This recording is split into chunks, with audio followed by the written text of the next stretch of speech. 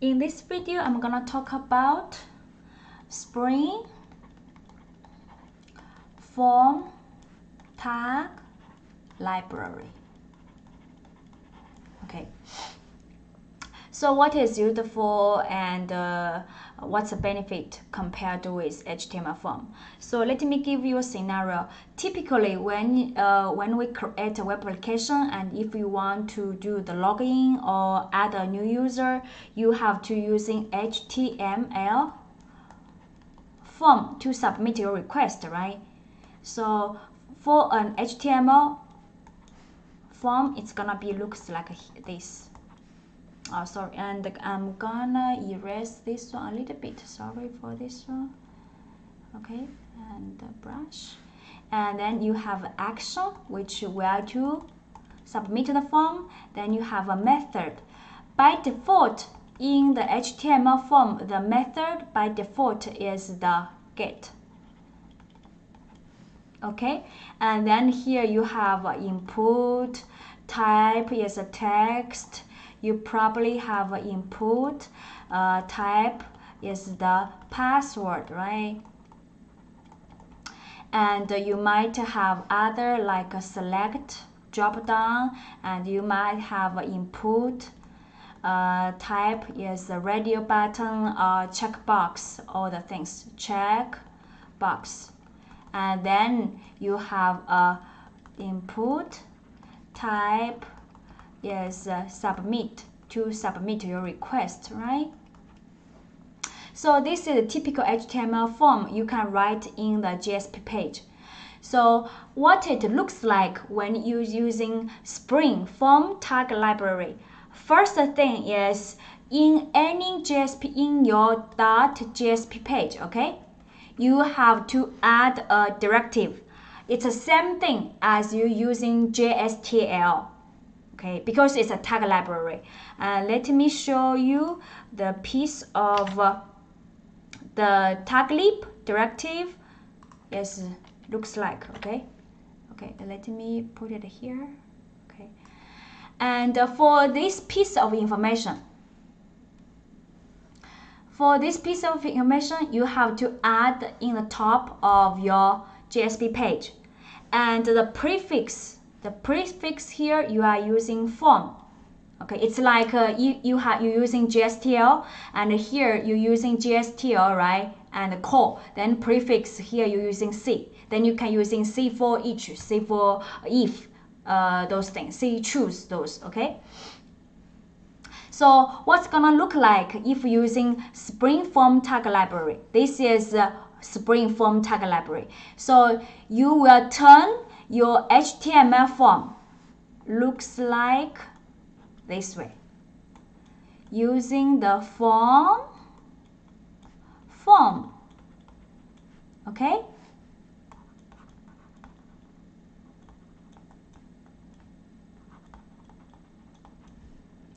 And here you also will have action. And the difference method by default is post. Okay? Normally we submit a form. It's gonna be a post. And here have uh, something different. You need to give a model attribute. So in your controller when you forward to this JSP, okay? You, inside your model, you must have a uh, domain object set. Then Spring Form tag will know how to bind your object, how to, sorry, how to bind your request parameter to which object. Which object? Suppose you put a user here he will bind all the information to this user object in request scope. And another difference from suppose you are using input type is text, right? And here is a difference. Previously, in your HTML form, you use name attribute to bind to the domain models first field, right? First instant fields. And you using name here. But inside Spring Form form, we are not using name. We are gonna using something called a path attribute. And here you wrote first.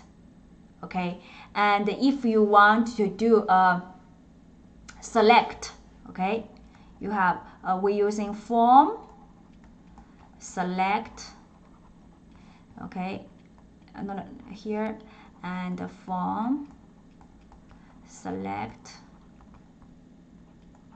and here you're gonna have form option okay? And you're gonna have a value and you're gonna have a label here right? And uh, how to bind? Using path equals suppose we call country okay? That's the difference. So let me summarize the difference okay the difference let me summarize first by default in HTML form by default is a get but in Spring's form tag library, it's by default is post. Second, you have to have a model attribute, which means in your controller, that uh, method which return to this page, you have to have an attribute in your model. The key is the user. Second, in the HTML form, you are using name attribute to bind your value, okay, to do the binding. But inside the Spring Form tag library, you are gonna using path to bind. That's the difference. And in the Spring Form uh, tag library, it uh, has something different when using select compared with HTML select. And uh, I'm gonna show you in another video, okay, how to actually work with uh, select. So now the question would be, your question would be, what's the benefit when I using Spring Form tag library? It seems uh, because I have the HTML form, everything works for me so far. And uh, what's the benefit? You gain this benefit. Let me change another color. First benefit is you can using the same page same JSP page for edit and uh, save uh, without without change without adding extra code in JSP. I'm gonna show you, okay? Second one, uh, so far, probably you won't have the experience. You cannot. You haven't learned for the validation. Uh, later on, we're gonna learn uh, validation, and uh, when you do the validation, you have to show the validation errors for all the fields and for each field. Suppose after each of the first name here, you have to show the validation errors. Okay, validation errors for each of the input text.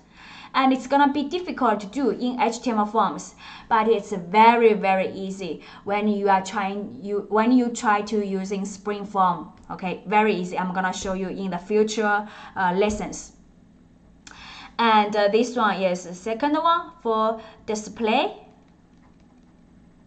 valley validation error okay last one uh, probably it has more, but that's all I have in my mind so far. That's all. Say a, uh, a, a third one, sorry. Cross request for, uh, cross site request forgery attack. Uh, in at the almost we let's when our lessons goes on eventually we will run uh, spring security. And uh, in the spring security we will talk about cross-site request forgery attack. And if you're using HTML form you have to add extra work here in order to prevent okay those attack or, or block those attack. But when you using spring form form it will automatically handle for you. So you don't need to add extra work. And uh, uh, this video is the introduction of Springform tag library. Thanks for watching this video and uh, see you next time.